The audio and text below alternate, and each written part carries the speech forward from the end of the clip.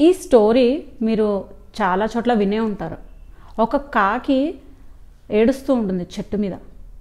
ఆ చెట్టు కింద కూర్చుని ధ్యానం చేసుకునే ఋషి అడుగుతాట కాకి నువ్వు ఎందుకు ఏడుస్తున్నావు? అని.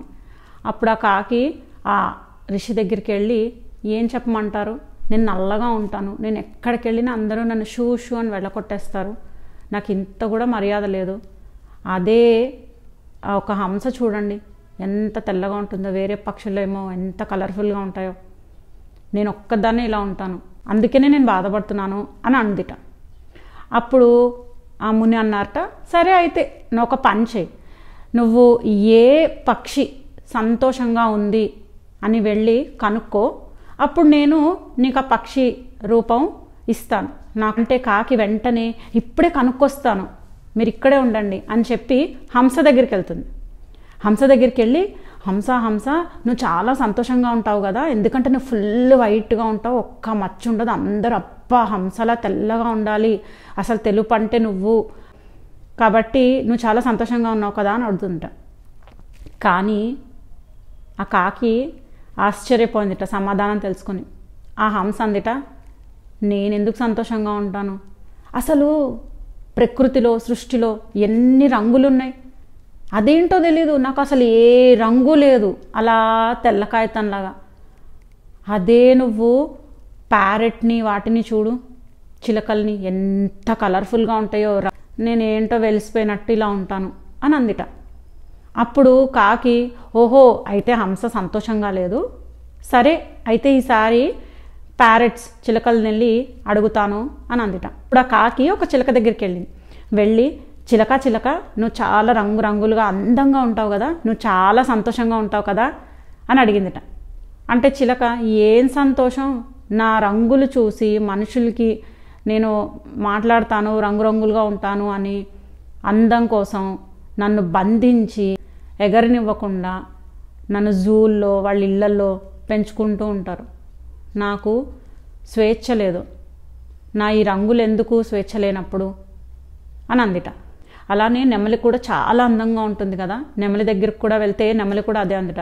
నా రెక్కలు అందరూ తెంపుకెళ్ళిపోతారు నా రంగే నా అందమే నాకు పెద్ద శాపంగా తయారైంది. ఆ రెక్కల్ని అమ్ముకోవడం అలాగే అందరూ నన్ను జూలో పెట్టి నన్ను చూడ్డానికి రావడం నాకేం సంతోషం? అసలు హాయిగా గాల్లో ఎగురుతూ ఎవ్వరు పట్టుకోకుండా స్వేచ్ఛగా ఉంటే ఎంత సంతోషంగా ఉంటుంది. అని అందిట అప్పుడు ఆ కాక అనుకుందిట. ఓహో అంటే ఇన్నాళ్ళు నాకే ప్రాబ్లం ఉంది నాకే నేను నచ్చలేదు అని అనుకున్నాను. అంటే ఏ పక్షి సంతోషంగా లేదు. ఒకటి అందరూ ప్రతిసారి వేరే వాళ్ళతో పోల్చుకుంటే కోర్స్ వాళ్ళలో ఎప్పుడు మంచి విషయాలే కనపడతాయి మనలో ఎప్పుడు ఇది రాదు అది రాదు అని కనపడుతుంది. దాన్ని సెల్ఫ్ సబొటాజ్ అంటారు. నా దగ్గర ఇది లేదు నాకు ఇది రాదు. కంటిన్యూస్గా ఇవే మాట్లాడడాన్ని సెల్ఫ్ సబటాజ్ సో ఆ కథలో కాకి ఇంతకీ ఆ ఋషి దగ్గరికి వచ్చి ఆ ఋషి అడిగాడట అవును చెప్పు ఎవరు సంతోషంగా ఉన్నారో? నిన్ను వాళ్ళలా మారుస్తాను. బాబో ఎవరు సంతోషంగా లేరు. నా లైఫే బెటర్. నన్ను ఎవ్వరు బంధించరు. నేను స్వేచ్ఛగా తిరుగుతూ ఉంటాను. అసలు నన్ను ఒకడు పట్టుకోవాలని కానీ పంజరంలో పెట్టాలని కానీ ఎవ్వరు ఆలోచించరు. నా అదేదో నాకు బాగుంది నేను ఎవరిలా ఉండాలని అనుకోవట్లేదు అని అంటుందిట. కాబట్టి మనము బావిలో కప్పలాగా ఎంతసేపు మన సర్కిల్లోనే ఉండిపోయి నాకే ఇది లేదు నాకే అది లేదు అని అనుకుంటూ ఉంటాం. అందుకే చాలామంది చూడండి స్పిరిచువల్గా ఉన్నవాళ్ళు మీరు ఎప్పటి నుంచి పూర్వకాలం నుంచి చూసుకోండి గొప్ప ఆధ్యాత్మికంగా ఎదిగిన వాళ్ళు కానీ లేదంటే లైఫ్లో సక్సెస్ఫుల్ అయిన వాళ్ళు కానీ ఫస్ట్ ట్రావెల్. ట్రావెల్ వల్ల ఏమవుతుందంటే ఓ ఇక్కడ సిచ్యువేషన్స్ ఇలా ఉంటాయా? ఇక్కడ క్లైమేట్ ఇలా ఉంటుందా? ఓకే వీళ్ళకి తినడానికి ఇది మాత్రమే దొరుకుతుందా? ఇవన్నీ ట్రావెల్ చేయడం వల్ల మనకి చాలా అంటే మైండ్ అనేది ఓపెన్ అవుతుంది. ఫర్ ఎగ్జాంపుల్ నేను మా హస్బెండ్తో ట్రాన్స్ఫర్ అవుతూ ఉంటుంది కాబట్టి నేను కాశ్మీర్లో ఉన్నాను అలానే బార్డర్స్లో ఉన్నాను అలానే దట్టమైన అడవుల్లో ఉన్నాను. అంటే అది దాటితే ఇంకేం ఉండదు. ఒక రెండు షాప్స్ తర్వాత అడవి అంతే. అలానే చాలా వైల్డ్ యానిమల్స్ ఇవన్నీ తిరిగే చోట ఉన్నాము. అంటే ఓకే ప్రాబ్లం అనుకోండి కానీ ఒక రకమైన ఎక్స్పోజర్ కూడా తెలుస్తుంది.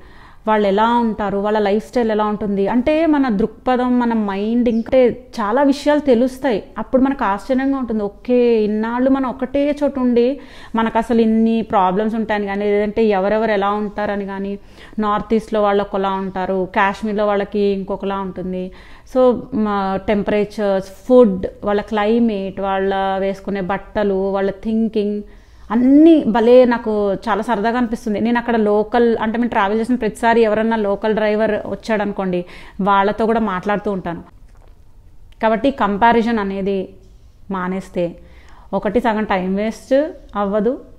నెక్స్ట్ ఏంటంటే ఎంత కంపేర్ చేసుకుంటే వేరే వాళ్ళతో మనకంత బాధ వస్తుంది. నిన్నటికన్నా మనం ఇంప్రూవ్ అయ్యామా అని మనతో మనం మాత్రమే పోల్చుకుంటే చాలు.